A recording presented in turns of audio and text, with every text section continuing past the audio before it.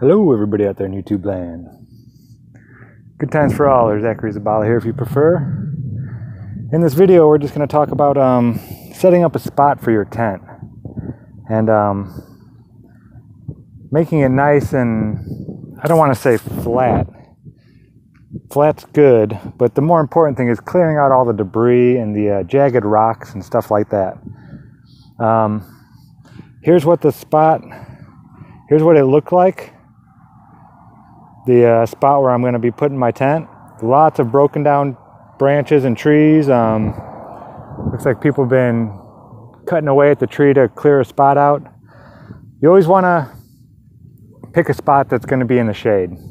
Um, I always pick, since I'm in the northern hemisphere or the northern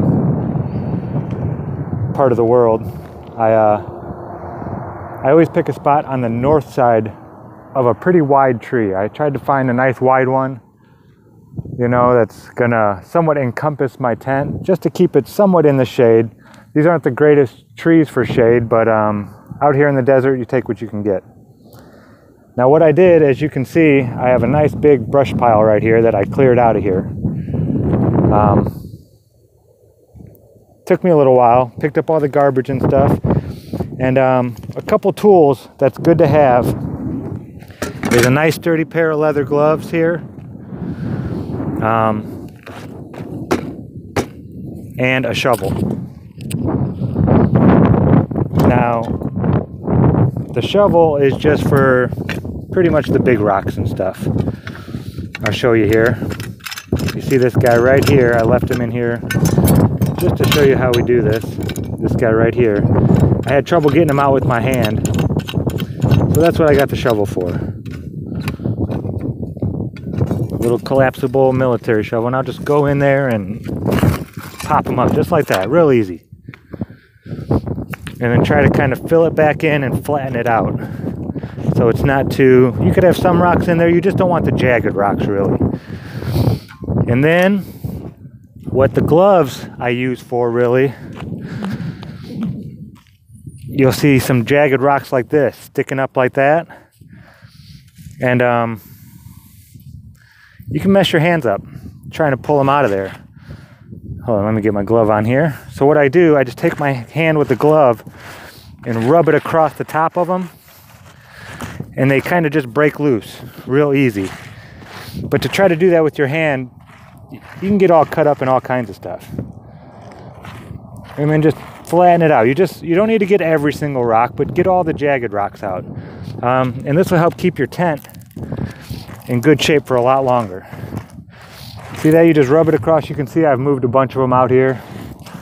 Um, a bunch more of them over here. Just to kind of clear it out and then go through and the more you look and the more time you take to have a nice flat not jagged ground to lay your tent on the longer the bottom's going to last and you won't have to be repairing it all the time.